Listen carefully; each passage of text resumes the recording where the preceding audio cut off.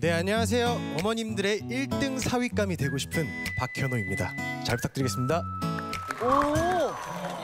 오! 아, 아, 인상 좋아.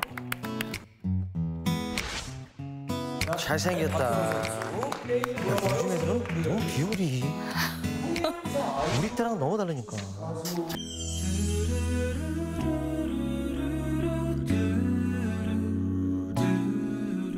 분홍색 입었어.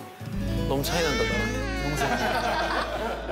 돌아와요 소녀 팬들이라는 닉네임이 있는데 그럼 소녀 팬들이 떠나갔나요?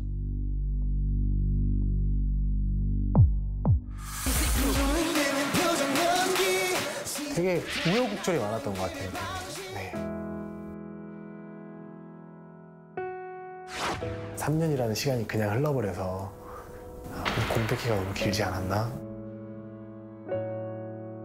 하루에 한 번씩은 봤던 것 같아요 근데 이제 사라졌다고 나오더라고요 전 노래라는 끈을 놓고 싶지 않았고요 소녀 팬도 소녀 팬이고 어머니 팬들, 이모 팬들 다제 편으로 만들고 싶습니다. 최선을 다해서 멋진 노래로 보답해드리겠습니다.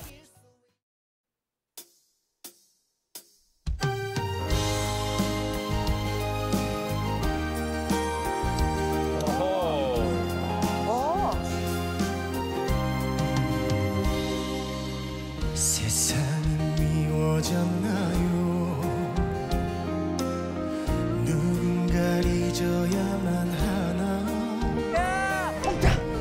날마다 쓰러지고 또다시 일어서지만 달라진 건 없는가요? 세상 길 걷다가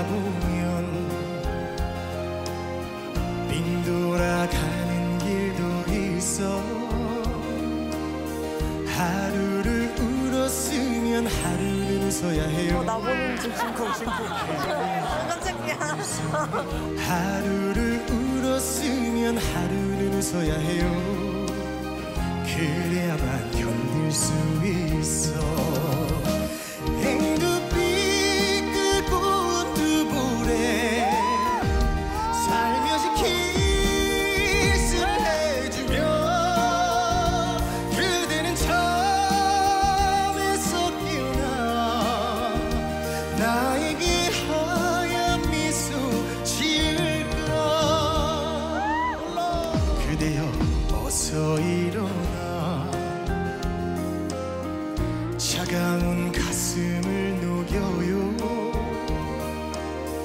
또다시 시작되는 아침을 걸어봐요. 우리 엄마 되게 좋아해. 곁에 나 있을게.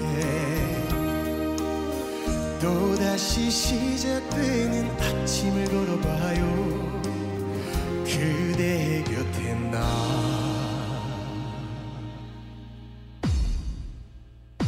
있을